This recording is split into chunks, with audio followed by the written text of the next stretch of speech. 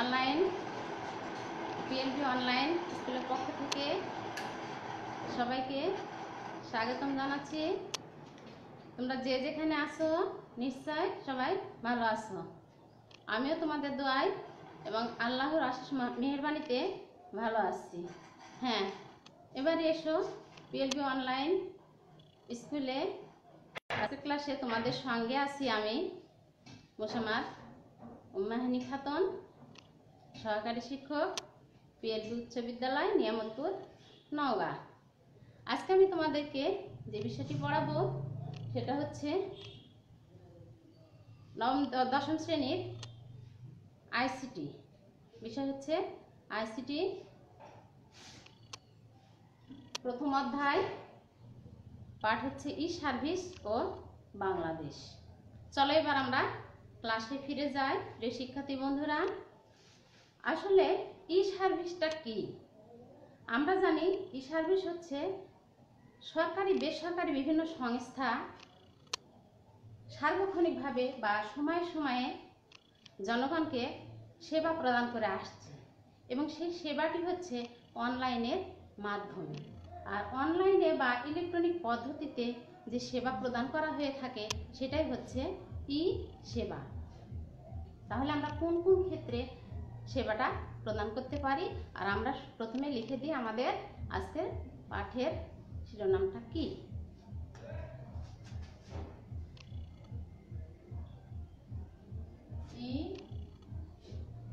সেবা ও বাংলা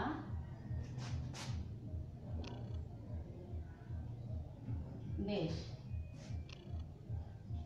হ্যাঁ প্রিয় শিক্ষার্থী বন্ধুরা তোমরা দেখতে পাচ্ছ, আমাদের আজকে পাঠের বিষয় হচ্ছে ই ও বাংলাদেশ। আচ্ছা আমরা জানি এই আমাদের বাংলাদেশ সরকার বিভিন্ন ক্ষেত্রে ইলেকট্রনিক পদ্ধতিতে বা অনলাইনের মাধ্যমে যে কোনো সেবা প্রদান করার ব্যবস্থা করেছেন তার মধ্যে আমরা দেখতে পাচ্ছি যে ই পুরজি তারপরে হচ্ছে ই পুরজিটা হচ্ছে যে হচ্ছে ওই আখ চাষের একটা অনুমতিপত্রর বিষয়। তারপরে আমরা আরও পরবর্তীতে আলোচনা করব, কিন্তু এর পূর্বে আমরা দেখি আর কোন কোন বিষয় নিয়ে আমরা আলোচনা করি। সেটা হচ্ছে যে আমরা অনলাইনে এখন ট্রেনের টিকিটও সংগ্রহ করতে পারছি। তারপরে হচ্ছে জমির দলিল কিন্তু আগে, জমির দলিল বা জমির নকল সেগুলো উঠাতে গেলে কিন্তু আগে অনেক হয়রানির শিকার হতো। সেগুলো কিন্তু এখন আমরা সেগুলো থেকে রেহাই পেয়েছি এবং আমরা অতি সহজে এই অনলাইনে নকলগুলো সংগ্রহ করতে পারি। তারপরে চলে এসো স্বাস্থ্যসেবার ক্ষেত্রে। স্বাস্থ্যসেবার ক্ষেত্রে আমাদের বাংলাদেশ সরকার টেলিমেডিসিন নামে একটি স্বাস্থ্যসেবা প্রদান করেছেন। তার জন্য কিন্তু প্রতিটা হাসপাতালে কিন্তু একটা করে মোবাইল দিয়েছেন। তাহলে চলো আমরা কোন কোন ক্ষেত্রে এই সেবাগুলো পেয়ে থাকছি, সেগুলো কিন্তু আমরা দেখব যেমন এক number E উজ্জি E উজ্জি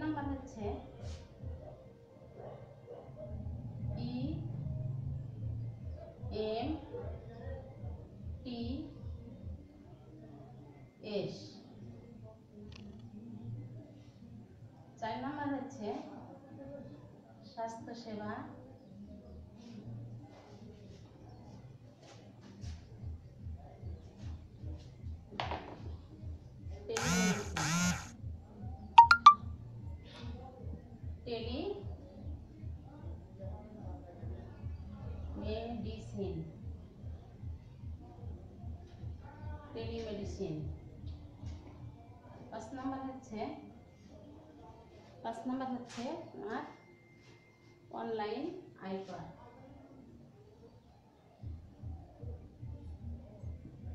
on line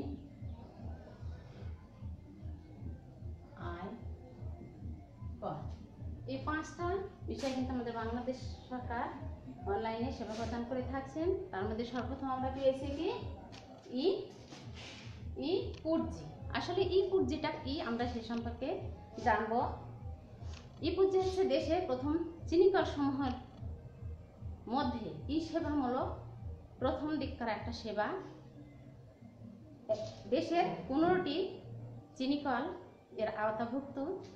আখ চাষিরা তাদের পণ্যগুলো কীভাবে সংগ্রহ কীভাবে আমদানি করবে বা কীভাবে সংগ্রহ করবে এবং সেগুলো কখন সরবরাহ করতে হবে সে সম্পর্কে যে অনুমতিপত্রটি পেয়ে থাকে সেটাই হচ্ছে ই পুঁজি। এর মাধ্যমে আখ চাষিরা তাদের আখ সরবরাহ করে থাকে।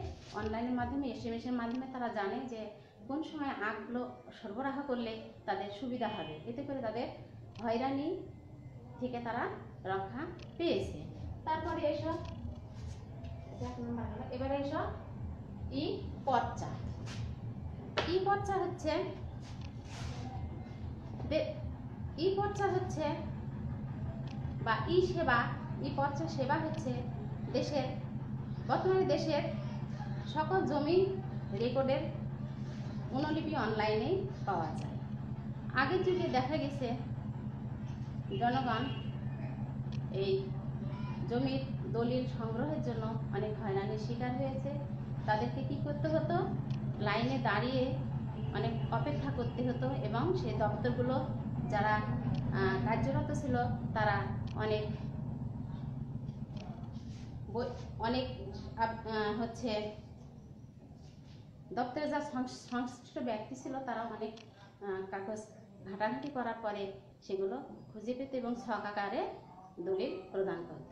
কিন্তু এখন এই পর্চা বা ই সেবা এসে এই জনগণ এই হয়রানির শিকার থেকে অনেকটা রেহাই পেয়েছে এবং দেশের যে কোনো স্থান থেকে অনলাইনের মাধ্যমে জমির দলিল বা পর্চা গ্রহণ করতে পারে। এবার এসো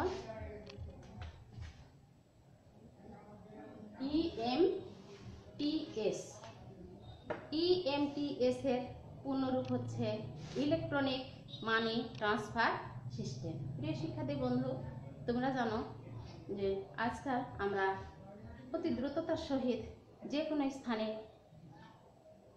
টাকা ট্রান্সফার করতে পারি বা স্থানান্তর করতে পারি। এটা কীভাবে পারি?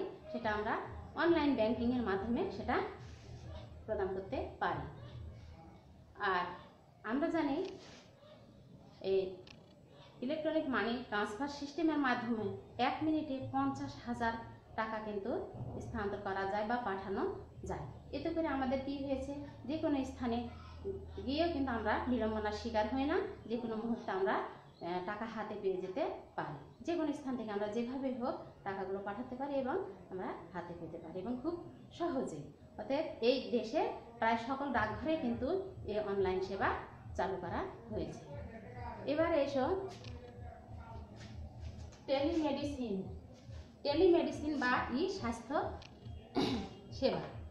বিভিন্ন সরকারি স্বাস্থ্য সেবা বা স্বাস্থ্য কেন্দ্রে সার্বক্ষণিক ডাক্তার নিয়োজিত আছেন।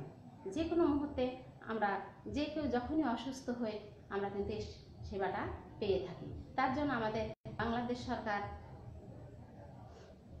মাননীয় প্রধানমন্ত্রী প্রতিটা হাসপাতালে কিন্তু একটি করে মোবাইল ফোন প্রদান করেছেন। তার মাধ্যমে, সেই মোবাইল ফোনের মাধ্যমে আমরা যে কোনো মুহূর্তে, যে কোনো স্থান থেকে, যে কোনো বিশেষজ্ঞ ডাক্তারের পরামর্শ নিতে পারি এবং চিকিৎসা সেবা পেতে পারি। এবার এসো। হ্যাঁ প্রিয় শিক্ষার্থী বন্ধু, তোমরা নিশ্চয় বুঝতে পারছ। এবার এসো। অনলাইন আয় করবা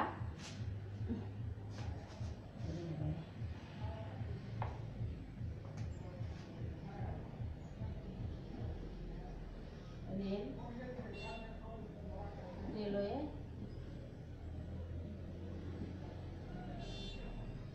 টিকিট বা মোবাইল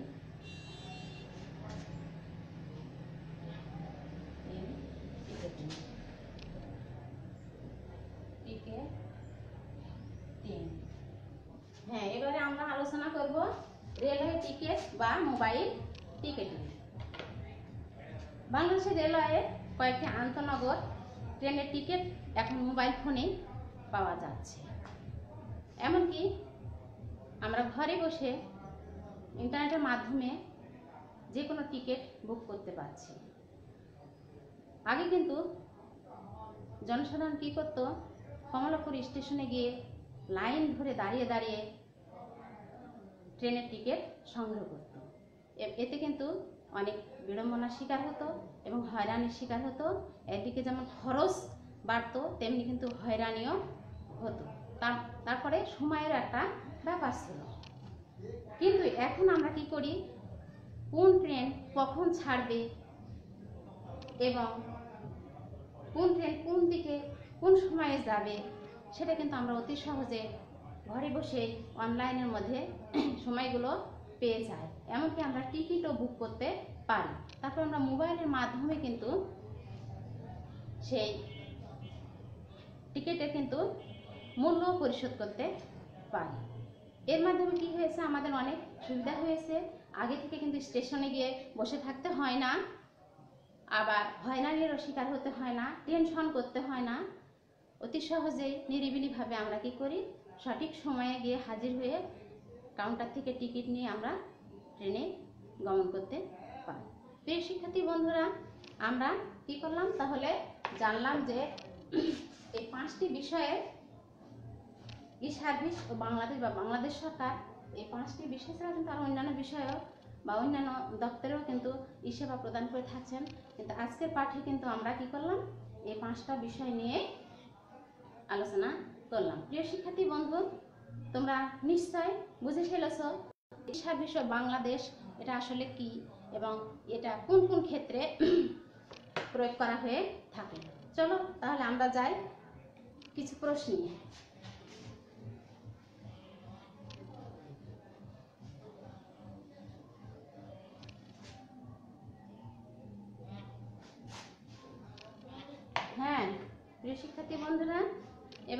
আমরা কিছু প্রশ্ন দিব। প্রশ্ন হচ্ছে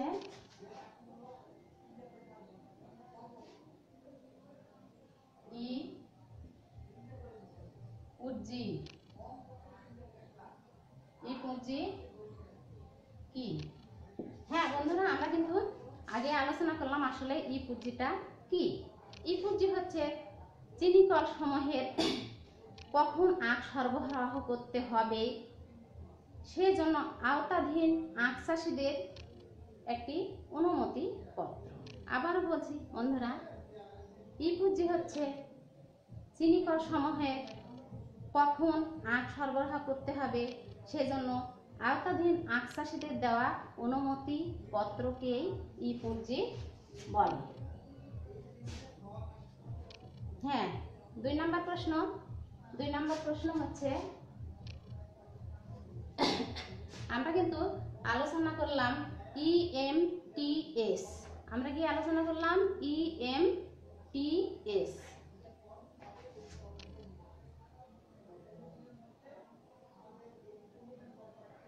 M T S কি? ইএম টিএস কি? হ্যাঁ প্রিয় শিক্ষার্থী বন্ধুরা, তোমরা নিশ্চয়ই এর আগে জেনেছো।